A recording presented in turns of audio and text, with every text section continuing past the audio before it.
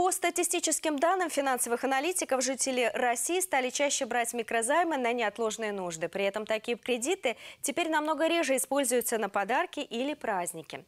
Об этом пишет РИА Новости. Наша съемочная группа выяснила причины такого явления. Ушедший год выдался очень непростым для отечественной экономики.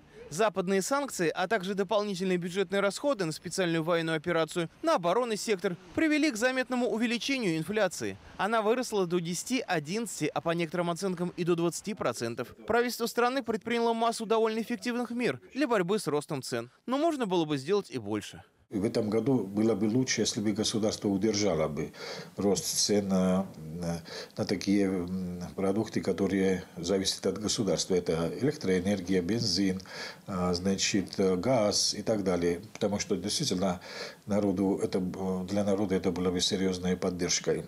Неудивительно, что заметно выросла доля населения, кто стал жить в прямом смысле слова от зарплаты до зарплаты. Как следствие, рост популярности микрофинансовых организаций. Причем люди все чаще стали брать займы не на бытовую технику, туристические поездки или на подарки, а на продукты и товары первой необходимости. Мне кажется, все подросло. Сейчас вот масло, что я сейчас смотрела, даже каш, вода вот какая минеральная была, вон 49, сейчас 69 стоит. Сначала был скачок вверх, там потом вроде как бы немножко опустилось. Но все равно это высоко, надо, чтобы пропорционально с зарплатами было. Ну, конкретно непропорционально. Тяжело. Ну, сказать, людям приходится в этой связи экономить, может даже брать конечно. кредиты. Да, конечно. Конечно. Все это ощущается.